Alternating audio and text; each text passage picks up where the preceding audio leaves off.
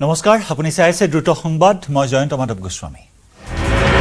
কোকৰাঝাৰ চহৰৰ বিধানপল্লীত চাঞ্চল্যকৰ হত্যাকাণ্ড কৃষি বিভাগৰ অৱসৰপ্ৰাপ্ত অভিযন্তা তপন চক্ৰৱৰ্তীক হত্যাত দুৰ্বৃত্তৰ সংকটজনক অৱস্থাত চিকিৎসাধীন তপন চক্ৰৱৰ্তীৰ পত্নী মধুমিতা চক্ৰৱৰ্তী। আহত মধুমিতা চক্ৰৱৰ্তী ডি এন হিম্মত চিংকা হাইস্কুলৰ অৱসৰপ্ৰাপ্ত প্ৰধান শিক্ষয়িত্ৰী জীয়ৰী থাকে আমেৰিকাত পুত্ৰ থাকে বেংগালুৰুত। ঘটনাস্থলীত উপস্থিত হৈ আৰক্ষীয়ে হত্যাকাণ্ডত ব্যৱহৃত দাখন উদ্ধাৰ কৰে। মহানগৰীত ধেমাজিৰ যুৱতী অনুষ্কা শইকীয়াৰ ৰহস্যজনক মৃত্যুক লৈ অব্যাহত চাঞ্চল্য। দিছপুৰ থানাত হাজিৰ প্ৰেমিক ৰাহুল শইকীয়া। অনুষ্কাৰ মৃত্যুত নাম সাঙুৰ খাইছিল ৰাহুলে মৃত্যুৰ পূৰ্বে ৰাহুল আৰু অনুষ্কাৰ মাজত হৈছিল মতানৈক্য। অনুষ্কাৰ মৃত্যু সন্দৰ্ভত জেৰাৰ সন্মুখীন হৈছিল দুজন। অনুষ্কাৰ বন কৰা মহিলা জুনু বৰা আৰু ভাড়াঘৰৰ মালিক ৰমেশ ভৰালীকো জেৰা কৰিছিল আৰক্ষীয়ে। দিছপুৰ ৰাজচক্ৰ বিষয়াৰ কাৰ্যালয়ত সংঘটিত ভূমি কেলেংকাৰীৰ তদন্ত অব্যাহত। আজি আদালতত হাজিৰ কৰোৱা হ'ব গ্ৰেপ্তাৰ হোৱা ছয় অভিযুক্তক। মঙলবাৰে ৰাজচক্ৰ বিষয়াৰ কাৰ্যালয় আৰু উপায়ুক্তৰ কাৰ্যালয়ৰ পৰা গ্ৰেপ্তাৰ কৰা হৈছিল আটাইকেইজনক। গ্ৰেপ্তাৰ কৰা নিৰঞ্জন ডেকাৰ ঘৰত নিশা অভিযান চলাইছিল ক্ৰাইম ব্ৰাঞ্চে। আৰক্ষীৰ অভিযানত নিৰঞ্জনৰ ঘৰত জব্দ নগদ ধনসহ বহু পৰিমাণৰ মাটিৰ কাগজ পত্ৰ বুধবাৰে পুৱা পলাশবাৰীৰ নয়ন কলিতাৰ ঘৰত অভিযান চলাই তদন্তকাৰী আৰক্ষীয়ে অভিযানত জব্দ মাটিৰ বহু দলিল পত্ৰ পাঠশালাৰ জনতা হাইস্কুলত দুৰ্বৃত্তৰ তাণ্ডৱ দুৰ্বৃত্তই লণ্ডভণ্ড কৰিলে বিদ্যালয় দুৰ্বৃত্তই ভাঙিলে বিদ্যালয়ৰ দুৱাৰ খিৰিকী বজালী আৰক্ষীৰ অধীক্ষকৰ কাৰ্যালয়ৰ সন্মুখত এই ঘটনা। এ পি এছ চি কেলেংকাৰীৰ তদন্ত অব্যাহত এছ টি এৰ এক এক ডিচেম্বৰত এ পি এছ সুকন্যা দাসক হাজিৰ হোৱাৰ নিৰ্দেশ। এ পি এছ সুকন্যা দাসৰ আঠখন বহী লাভ কৰিছিল তদন্তকাৰী এছ আই টিয়ে সুকন্যা দাসৰ দুখন বহী জাল প্ৰমাণিত বুলি প্ৰমাণিত হৈছে। এ পি এছ চি কেলেংকাৰীৰ তদন্তৰ আওতালৈ সকলো আহিব বুলি মন্তব্য তদন্তকাৰী বিষয়াৰ। এ চি এছ আকাশী দুৱৰা আৰু থ্ৰী ডি প্ৰয়োগ মঙলবাৰে জেৰা দিনজোৰা জেৰাৰ অন্তত যাবলৈ দিয়া হয় আকাশী দুৱৰা আৰু থ্ৰী ডি প্ৰয়োগ। ইফালে ন্যায়িক জিম্মালৈ প্ৰেৰণ কৰা হৈছে এ পি এছ চিৰ দুই অভিযুক্তক। ন্যায়িক জিম্মালৈ প্ৰেৰণ ঐশ্বৰ্য জীৱন বৰুৱা আৰু শ্বাহজাহান চৰকাৰক। কাৰাগাৰতে পুনৰ তেওঁলোকক জেৰা চলাব এছ আই টি। নগাঁৱৰ বেবেজিয়াৰ সাতত্ৰিশ নম্বৰ ৰাষ্ট্ৰীয় ঘাইপথত ভয়ংকৰ পথ দুৰ্ঘটনা একেলগে দুৰ্ঘটনাত পতিত তিনিখন বাহন দুৰ্ঘটনাত গুৰুতৰভাৱে আহত টেম্পৰ যাত্ৰী আৰু বাইক আৰোহীসহ আঠজন লোক। চিপাঝাৰত পথ দুৰ্ঘটনাত নিহত এজন বাইক আৰোহী দুমনি চকী কৰোৱা সংযোগী পথত আল্ট্ৰা বাছে মহতিয়ালে দুই বাইক আৰোহীক। নিহত লোকজন জাহিৰ আলী আহত আন এজন। দক্ষিণ কামৰূপত বন্যাহস্তীৰ আক্ৰমণত নিহত এজন বকুৰ নাম পথাৰত সংঘটিত অগ্নিকাণ্ডৰ ঘটনা। নিহত লোকজন দেৱকান্ত বড়ো। ঘৰলৈ উভতাৰ পথত বন্যাহস্তীৰ মুখামুখি হয় লোকজন। মাজুলীৰ শ্ৰীৰাম তেলিয়া বাৰীত ভয়ংকৰ অগ্নিকাণ্ড। জীৱন বৰা নামৰ লোকজনৰ এখন দোকান সম্পূৰ্ণৰূপে ভস্মীভূত। ৰাসোৎসৱৰ আনন্দৰ মাজতে এটা পৰিয়াললৈ নামি আহিল দুৰ্যোগ। মহানগৰীত পুনৰ মন্দিৰ চুৰিৰ ঘটনা ধাৰাপুৰ চাৰিআলিৰ কালী মন্দিৰত চুৰি সোণৰূপৰ অলংকাৰসহ চোৰে লুটি নিলে নগদ প্ৰায় দহ হাজাৰ টকা। চুৰিকাণ্ডক লৈ অব্যাহত চাঞ্চল্য। পুৱাই প্ৰতিবাদত উত্তাল মহানগৰীৰ বৰাক গাঁৱৰ নতুন বস্তি অঞ্চল ৰাজপথ মেৰামতি নকৰিলে ভোট বৰ্জনৰ হুংকাৰ। ৰাইজৰ কোটি টকীয়া ঠিকালৈ কাম আধৰুৱা কৰি উধাও ঠিকাদাৰ। গোৱালপাৰা জিলাৰ কৃষ্ণাইৰ দিনমা জাখিলি হাইস্কুলত চুৰিকাণ্ড চোৰে বিদ্যালয়খনৰ কম্পিউটাৰৰ কক্ষৰ দৰ্জা আৰু গ্ৰিল ভাঙি লুটি নিলে ছলাৰৰ ছটাকৈ বেটাৰী আৰু ইউ পি এছ। বুধবাৰে বিদ্যালয়ৰ চকীদাৰে প্ৰত্যক্ষ কৰে এই ঘটনা। অৰুণাচল প্ৰদেশত ছাত্ৰক আক্ৰমণৰ ঘটনা। এই ঘটনাত এখন স্পৰ্টছ একাডেমীৰ শিক্ষাৰ্থী জড়িতৰ অভিযোগ অভিভাৱকৰ। ইফালে ঘটনা অস্বীকাৰ কৰিছে শিক্ষানুষ্ঠানখনৰ শিক্ষাৰ্থীয়ে। যোৰহাটত বৃদ্ধি পোৱা অপৰাধজনিত ঘটনাই আতংকিত কৰি তুলিছে সৰ্বসাধাৰণ ৰাইজৰ লগতে জনপ্ৰতিনিধিসকলকো। যোৰহাটত যদিহে এনে ঘটনা সংঘটিত হয় এই সন্দৰ্ভত সমগ্ৰ বিষয়টোৰ বুজ লৈ ব্যৱস্থা গ্ৰহণ কৰা হ'ব বুলি জানিবলৈ দিয়ে মন্ত্ৰীগৰাকীয়ে। যোৰহাটৰ অপৰাধজনিত ঘটনাৰ আঁৰত প্ৰশাসনৰ কিছু শিথিলতা থকা বুলি মত ব্যক্ত কৰে সাংসদ কামাখ্যা প্ৰসাদ দাসাই। শেহতীয়া অপৰাধজনিত ঘটনাসমূহ নিয়ন্ত্ৰণ কৰিবলৈ সমগ্ৰ বিষয়টো শীঘ্ৰে পৰ্যালোচনা কৰা হ'ব বুলি জানিবলৈ দিয়ে সাংসদগৰাকীয়ে মহানগৰীৰ তেতেলিয়াত কামাখ্যা যোগীঘোপা ৰেলপথৰ যুৱকৰ মৃতদেহ উদ্ধাৰক লৈ চাঞ্চল্য। চিনাক্ত হোৱা নাই মৃত যুৱকজন। জালুকবাৰী আৰক্ষীয়ে মৃতদেহটো মৰণোত্তৰ পৰীক্ষাৰ বাবে গুৱাহাটী চিকিৎসা মহাবিদ্যালয় হাস্পতাললৈ প্ৰেৰণ কৰে। হাইস্কুল শিক্ষান্ত পৰীক্ষাত সুখ্যাতিৰে উত্তীৰ্ণ মেধাৱী ছাত্ৰ ছাত্ৰীক আনন্দৰাম বৰুৱা বঁটা মুখ্যমন্ত্ৰীৰ শংকৰদেৱ কলাক্ষেত্ৰৰ মাধৱদেৱ আন্তৰ্জাতিক প্ৰেক্ষাগৃহত অনুষ্ঠিত হয় বঁটা প্ৰদান অনুষ্ঠান। হাইস্কুল শিক্ষান্ত পৰীক্ষাত পঁয়সত্তৰ শতাংশ বা তাতোকৈ অধিক নম্বৰ লাভ কৰা ছাত্ৰ ছাত্ৰীসকলে লাভ কৰিব পোন্ধৰ হাজাৰকৈ টকা। মুঠ সাতাইছ হাজাৰ এশ তিৰাশীগৰাকী ছাত্ৰ ছাত্ৰীক প্ৰদান কৰা হ'ব এই বঁটা। এই বঁটাৰ বাবে ধাৰ্য কৰা হৈছে চল্লিছ কোটি সাতসত্তৰ লাখ পঞ্চল্লিছ হাজাৰ টকা। কামৰূপ কামৰূপ মেট্ৰ' নলবাৰীকে ধৰি সমীপৰ জিলাকেইখনৰ ছাত্ৰ ছাত্ৰীক কেন্দ্ৰীয় অনুষ্ঠানত আজি প্ৰদান কৰা হ'ল এই বঁটা। লগতে জিলাভিত্তিত অন্য জিলাত মন্ত্ৰী আৰু বিধায়কৰ উপস্থিতিত প্ৰদান কৰা হ'ব বঁটা। গোলাঘাটতো মেধাৱী ছাত্ৰ ছাত্ৰীক প্ৰদান কৰা হয় আনন্দৰাম বৰুৱা বঁটা। হাইস্কুল শিক্ষান্ত পৰীক্ষাত সুখ্যাতিৰে উত্তীৰ্ণ হোৱা গোলাঘাট জিলাৰ এহেজাৰ একৈছগৰাকী শিক্ষাৰ্থীক দিয়া হয় পোন্ধৰ হাজাৰ টকাৰ চেক। দুহেজাৰ চৌব্বিছ চনৰ ন জানুৱাৰীৰ পৰা দুহেজাৰ চৌব্বিছ চনৰ ত্ৰিছ মাৰ্চৰ ভিতৰত দেশত বলবৎ হ'ব পাৰে কাৰ বিধি? পশ্চিমবংগৰ এক জনসভাত কেন্দ্ৰীয় গৃহ ৰাজ্যমন্ত্ৰী অজয় কুমাৰ মিশ্ৰৰ এই ঘোষণাৰ পিছতে অসমতো সৃষ্টি হৈছে তীব্ৰ প্ৰতিক্ৰিয়াৰ। জাঙুৰ খাই উঠিছে অসমৰ ৰাজনৈতিক অৰাজনৈতিক সংগঠনসমূহ। কা সন্দৰ্ভত উচ্চতম ন্যায়ালয়ে ৰাইজৰ পক্ষত ৰায় দিব বুলি আশাবাদী দল সংগঠন। এই আইনৰ বিৰুদ্ধে অসম তথা উত্তৰ পূৰ্বাঞ্চলত তেৱন্নটা সংগঠন আৰু সমগ্ৰ দেশৰ দুশৰো অধিক দল সংগঠন দ্বাৰস্থ হৈছিল উচ্চতম ন্যায়ালয়ৰ ন বিজেপি সুৰেশ বৰাক কতো সমালোচনা ৰকিবুল হুছেইনৰ নগাঁও ৰাজীৱ ভৱনত ৰকিবুল হুছেইনৰ সংবাদমেল সুৰেশ বৰাৰ ফটো ঘৰত ৰাখিলে ল'ৰা ছোৱালী বেয়া হ'ব বুলি কটাক্ষ কৰে কংগ্ৰেছ নেতাজনে। চন্দন ব্ৰহ্মৰ ইউ পি পি এলত যোগদান সন্দৰ্ভত অজ্ঞতা প্ৰকাশ প্ৰমোদ বড়োৰ কোকৰাঝাৰ লোকসভা সমষ্টিত চন্দন ব্ৰহ্ম বিজেপি মিত্ৰজোঁটৰ প্ৰাৰ্থী হ'ব বুলি হোৱা চৰ্চা সন্দৰ্ভতো অজ্ঞতা প্ৰকাশ কৰে ইউ পি পি এল দলৰ মুৰব্বীজনে।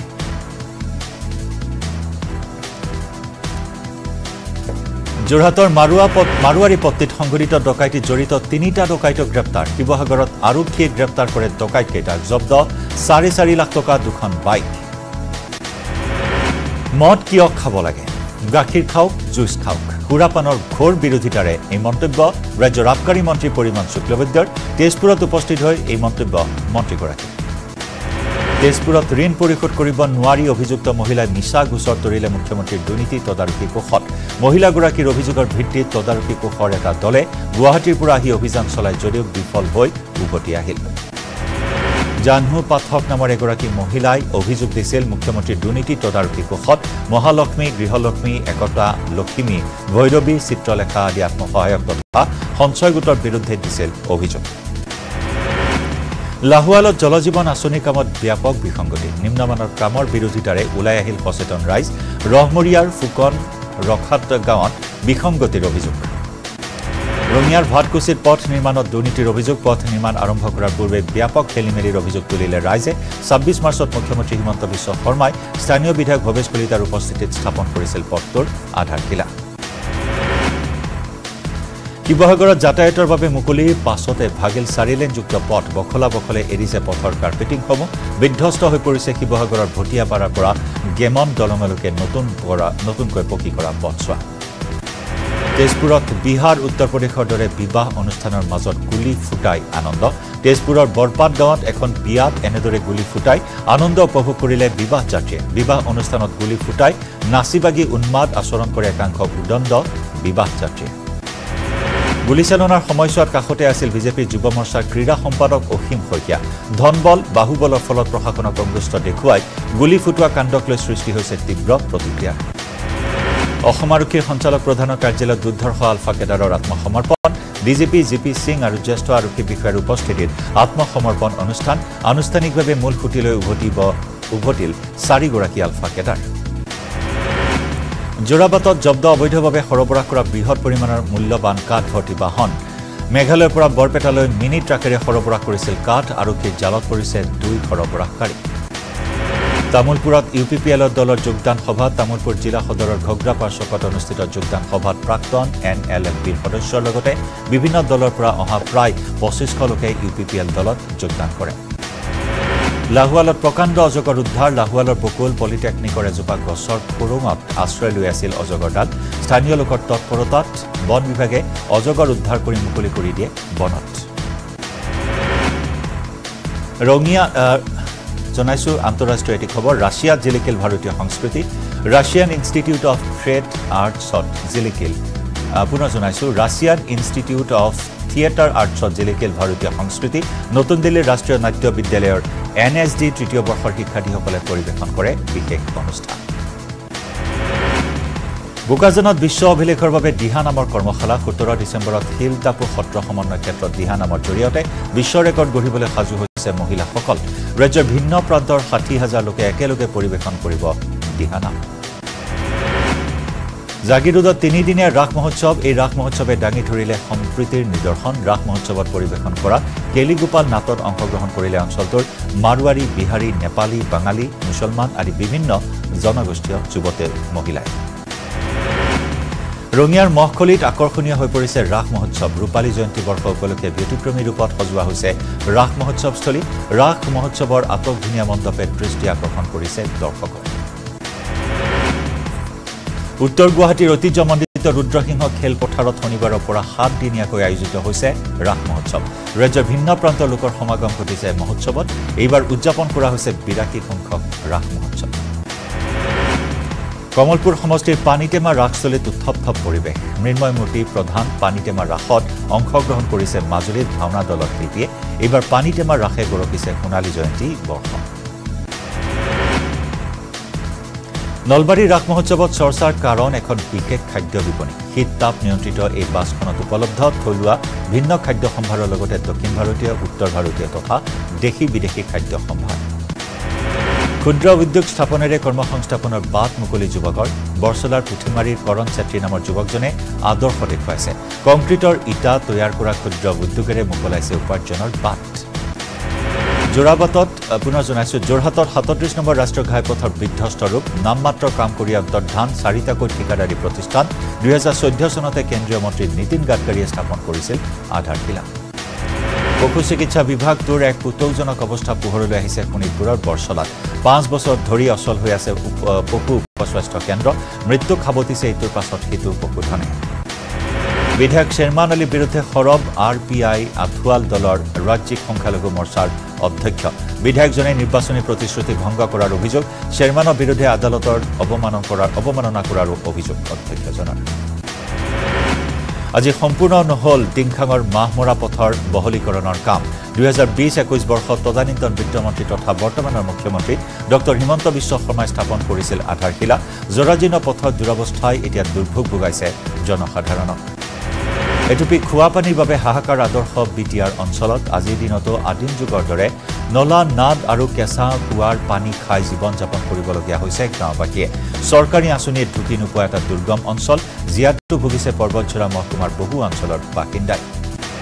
পাহাৰীয়া জিলাত ৰাজনৈতিক কুচকাৱাজ তুংগত উঠিছে। বিশেষকৈ শাসকীয় বিজেপি দলৰ মাজত টিকট কেন্দ্ৰিক যুঁজ লক্ষণীয় হৈ উঠিছে। জিলাখনৰ আঠাইছটা সম আঠাইছ সমষ্টিৰ দুই প্ৰায় কেইটা সমষ্টিতে ওলাইছে প্ৰাৰ্থিত্বৰ একাধিক দাবীদাৰ।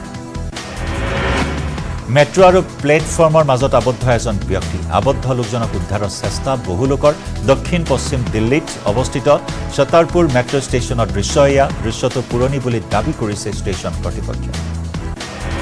কাজিৰঙা ৰাষ্ট্ৰীয় উদ্যানত অসম গৌৰৱ এশিঙীয়া গড়ৰ সুৰক্ষাত সষ্টম হৈ আছে এদল মহিলা বনকৰ্মী বন বিভাগৰ চাকৰি লাভ কৰি কাজিৰঙাৰ পৰাই আৰম্ভ হৈছে এইসকল মহিলা বনকৰ্মীৰ কৰ্মজীৱন। চলিত বৰ্ষৰ আগষ্ট মাহত কাজিৰঙাত যোগদান। ছয়ত্ৰিছগৰাকী মহিলা বনকৰ্মী ধুবুৰীৰ সাংসদ বদৰুদ্দিন আজমলক লৈ তীৰ্যক মন্তব্য। আজমলক মানসিক বিকাৰগ্ৰস্ত লোক বুলি অভিহিত কৰিলে গোৱালপাৰা পূব সমষ্টিৰ বিধায়ক এ কে ৰছিদ আলমে। বিজেপি যিদৰে সাম্প্ৰদায়িক আজমলত ঠিক তেনেদৰে সাম্প্ৰদায়িক বুলি মন্তব্য কৰে বিধায়কজনে। ডিগবৈত আছুৰ কেন্দ্ৰীয় শ্বহীদ দিৱসৰ আয়োজন দহ ডিচেম্বৰত দিনজোৰা কাৰ্যসূচীৰে শ্বহীদ দিৱস। সদৌ অসম ছাত্ৰ সন্থাৰ আহ্বান মৰ্মে তিনিচুকীয়া জিলাৰ ছাত্ৰ সন্থাৰ উদ্যোগত অনুষ্ঠিত হ'ব শ্বহীদ দিৱস। এতিয়া আঘোণৰ ভৰপক সময়। হাতে হাতে কাঁচি লৈ সোণগুটি চপাবলৈ পথাৰত নামিছে জাকে জাকে দাৱনী। কৃষকৰ ব্যস্ততা বাঢ়িছে ৰাষ্ট্ৰীয় উদ্যানৰ দাঁতি কাষৰীয়া লুখুৰাখনীয়া মহপৰা গাঁৱত। মুখ্যমন্ত্ৰী ডঃ হিমন্ত বিশ্ব শৰ্মাৰ মাজুলী ভ্ৰমণৰ সামৰণি। বিভিন্ন উন্নয়নমূলক কাম কাজ পৰিদৰ্শন কৰে মুখ্যমন্ত্ৰী ডঃ শৰ্মাই। নিশা মাজুলীত ৰাস উপভোগ কৰে মুখ্যমন্ত্ৰীগৰাকী। মাজুলীৰ ৰাস চাই উভতাৰ পথত মুখ্যমন্ত্ৰীৰ মহানুভৱতা। এতিয়া অসুস্থ শিশুক চিকিৎসাৰ ব্যৱস্থা কৰে মুখ্যমন্ত্ৰীয়ে লগতে বিভিন্ন ওজৰ আপত্তিৰে ভৰা কেইবাখনো আবেদনো চাই পাৰ্যমানে সমাধান কৰাৰ আশ্বাস দিলে মুখ্যমন্ত্ৰীয়ে নিশা মাজুলীত ৰাস উপভোগ কৰে ডঃ শৰ্মাই। কমলাবাৰী উত্তৰ কমলাবাৰী শ্ৰীমন্ত শংকৰদেৱ কৃষ্টি সংঘত ৰাস উপভোগ কৰে। কোলাত এটি কণমানি শিশুক লৈ ৰাসলীলা উপভোগ কৰে মুখ্যমন্ত্ৰী ডঃ শৰ্মাই। মাজুলীৰ চাৰি ঠাইত ৰাস উপভোগ কৰিলে মুখ্যমন্ত্ৰীগৰাকীয়ে। ৰাসৰ মাজতে ভাগিনৰ সৈতে কথা বতৰা পাতিলে মুখ্যমন্ত্ৰীয়ে। ৰাসৰ মাজতে মুখ্যমন্ত্ৰীক কাষত পাই উৎফুল্লিত হৈ পৰিল অঞ্চলবাসী। অৱশেষত উত্তৰ কাশীত আবদ্ধ একচল্লিছ শ্ৰমিকক উদ্ধাৰ। আটাইকেইজন শ্ৰমিকক সুস্থ অৱস্থাত সফলতাৰে উদ্ধাৰ কৰিবলৈ সক্ষম হয়। সুৰংগত স্থাপন কৰা পাইপেৰে উদ্ধাৰ কৰা হয় শ্ৰমিকসকলক। বুধবাৰে পুৱা হাস্পতালত আহাৰ গ্ৰহণ কৰিলে চিকিৎসাধীন একচল্লিছগৰাকী শ্ৰমিকে। নিশাটো চিকিৎসকৰ নিৰীক্ষণত থকা শ্ৰমিকে আজি পুৱা চিকিৎসালয়ত আহাৰ গ্ৰহণ কৰিলে। বিগত সোতৰ দিন ধৰি আবদ্ধ হৈ থকা শ্ৰমিকসকলৰ ভিতৰত অসমৰো দুজন শ্ৰমিক আছিল। কোকৰাঝাৰৰ সঞ্জয় বসুমতাৰী আৰু ৰামপ্ৰসাদ নাৰ্জাৰীক সফলতাৰে উদ্ধাৰ কৰা হয়।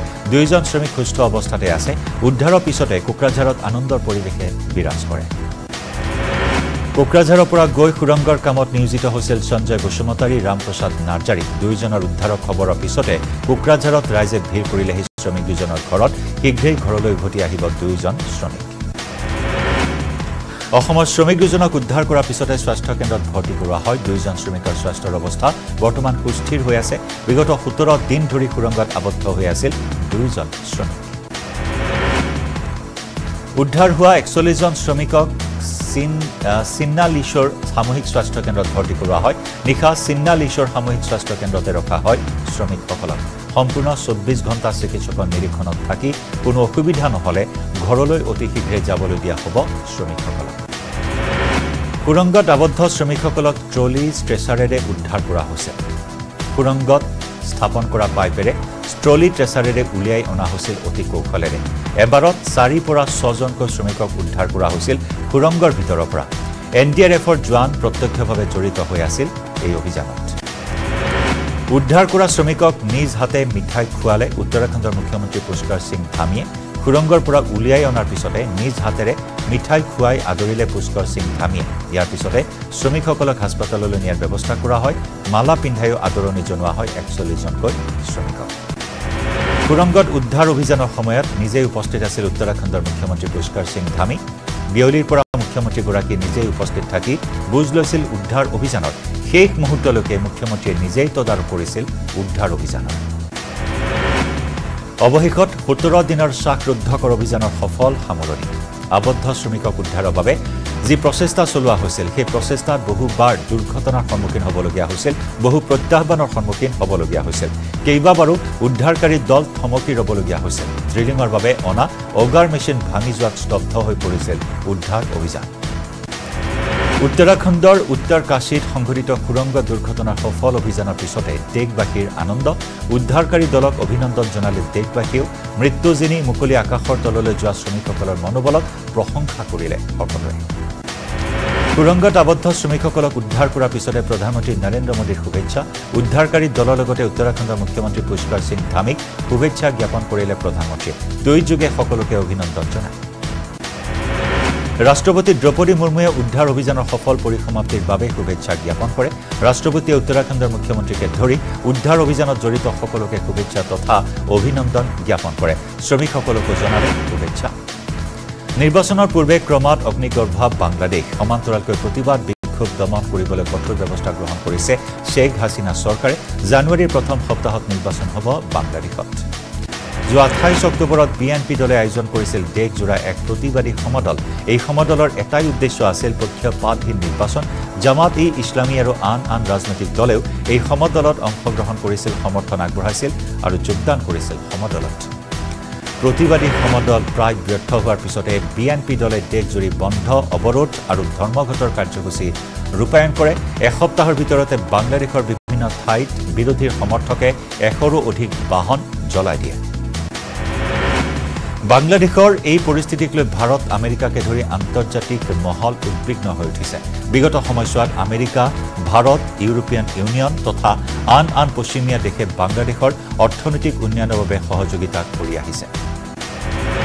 এনে হিংসাত্মক পৰিস্থিতিৰ মাজত বাংলাদেশৰ ৰাজনীতি অনাগত সময়ত কোন দিশে গতি কৰে সেয়া লক্ষণীয় হ'ব। বি এন পিৰ বন্ধ অৱৰোধ অব্যাহত আছে।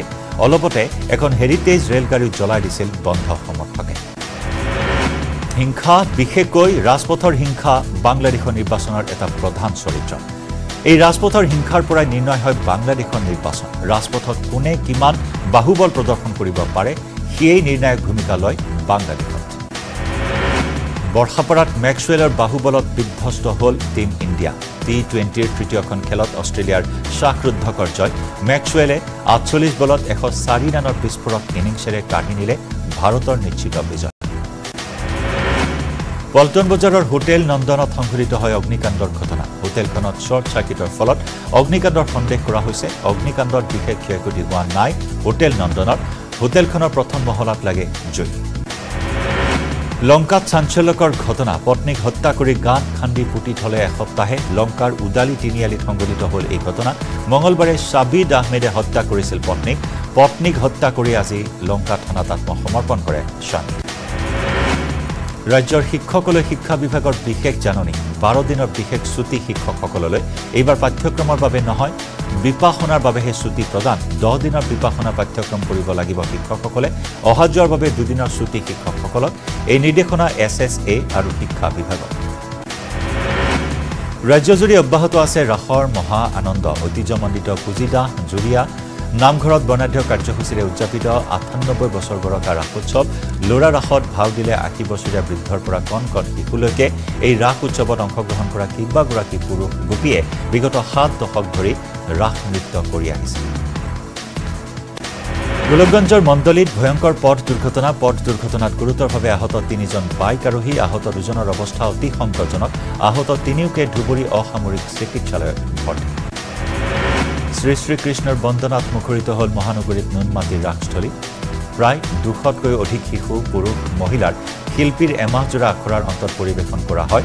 শ্ৰীকৃষ্ণৰ ৰাসলীলাৰ নাট নুনমাটি কোধানগৰ ছেক্টৰ টু খেলপথাৰ প্ৰাংগণত আয়োজন কৰা হয়। শ্ৰী শ্ৰী কৃষ্ণৰ ৰাসলীলা। প্ৰবীণ সাংবাদিক তথা সাহিত্যিক অনিল বৰুৱাৰ দেহাৱসান। ছয়াশী বছৰ বয়সত দেহাৱসান অনিল বৰুৱাৰ দৈনিক কাকত কাকতৰ প্ৰাক্তন সম্পাদক আছিল অনিল বৰুৱা। দীৰ্ঘদিন ধৰি অসুস্থ হৈ আছিল প্ৰবীণ সাংবাদিক তথা সাহিত্যিকগৰাকী। আদালতত বিচৰাধীন বিবদমান ভূমিৰ পট্টা প্ৰদান কৰাৰ অভিযোগ মায়ং ৰাজচক্ৰ বিষয়াৰ বিৰুদ্ধে। এই গুৰুতৰ অভিযোগ মাটিৰগৰাকী ৰামচৰণ দেৱনাথৰ। দুহেজাৰ দহ চনৰ পৰা আদালতত বিচৰাধীন বিবদমান ভূমিখিনি। হঠাৎ বাইহাটা চাৰিআলিত উৰিল আলফা স্বাধীনৰ পতাকা কমলপুৰৰ একত্ৰিশ নম্বৰ ৰাষ্ট্ৰীয় ঘাইপথত দাঁতিত দেখিবলৈ পোৱা হ'ল আলফা স্বাধীনৰ পতাকাখন। কোনে কি কাৰণত আনি আলফা স্বাধীনৰ পতাকাখন তাত উৰুৱালে বা স্থাপন কৰিলে তাক লৈ সৃষ্টি হৈছে ব্যাপক চাঞ্চল্য। বোকাখাটৰ গড়মূৰ হাইস্কুলৰ সমীপত ভয়ংকৰ পথ দুৰ্ঘটনা। এই দুৰ্ঘটনাত গুৰুতৰভাৱে আহত হয় চাৰিজন লোক। তেল পৰিবাহী টেংকাৰ আৰু এখন মাৰুতি ছুইফ্ট বাহনৰ মাজত হয় মুখামুখি সংঘৰ্ষ। আহতসকলক সংকটজনক অৱস্থাত হাস্পতালত ভৰ্তি কৰোৱা হয়। মাৰুতি ছুইফ্ট বাহনখন সম্পূৰ্ণৰূপে বিধ্বস্ত হৈ পৰে। তিতাবৰৰ মৰিয়নী সীমান্তত নিশা বন্যহস্তীৰ পোৱালীৰ কৰুণ মৃত্যু। গাঁতত পৰি মৃত্যু হয় ডেৰমহীয়া এটা হাতী পোৱালীৰ। তিতাবৰৰ ৰঙাজান জংঘল লাইনত সংঘটিত হয় এই ঘটনা।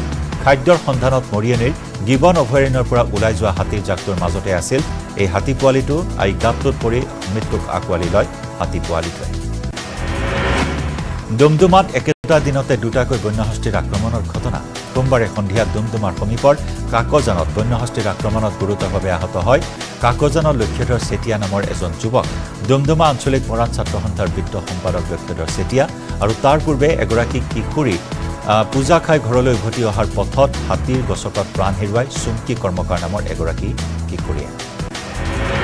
বেডেটিত ৰেলৰ খুন্দাত হাতীৰ মৃত্যু বুৰৈ দলঙৰ সমীপত এই দুৰ্ঘটনা। দনিপলো এক্সপ্ৰেছৰ খুন্দাত মৃত্যু হাতীটোৰ। এনেদৰে ৰাজ্যত হাতী মানুহৰ সংঘাত বৃদ্ধি পাইছে। হাতী মানুহৰ সংঘাতে বিভীষিকাৰ ৰূপ ধাৰণ কৰিছে। কেতিয়াবা হাতীৰ আক্ৰমণত মানুহৰ মৃত্যু আৰু আনফালে হাতীও মৃত্যুমুখত পৰিছে দৈনিক। গোৱালপাৰাতো অব্যাহত আছে হাতী মানুহৰ ত্ৰাস। হাতী মানুহৰ সংঘাত অব্যাহত আছে। বন্যহস্তীৰ উপদ্ৰৱ গোৱালপাৰাতো অব্যাহত আছে। কি দিন কি ৰাতি সকলো সময়তে গাঁৱে ভূঞে হাতীৰ বৃহৎ বৃহৎ জাক সোমাই এফালৰ পৰা চলাই উপদ্ৰৱ। বিগত দহটা দিনত দুজনকৈ লোকে হাতীৰ গছকত প্ৰাণ হেৰুৱাবলগীয়া হৈছে। খেতি পথাৰ খাই গছকি তহিলং কৰিছে জাক জাক বন্যহস্তী। আৰু এয়া আছিল দ্ৰুত সংবাদ। নমস্কাৰ। ভাৰতৰ গৌৰৱ গোটেই বিশ্বতেই।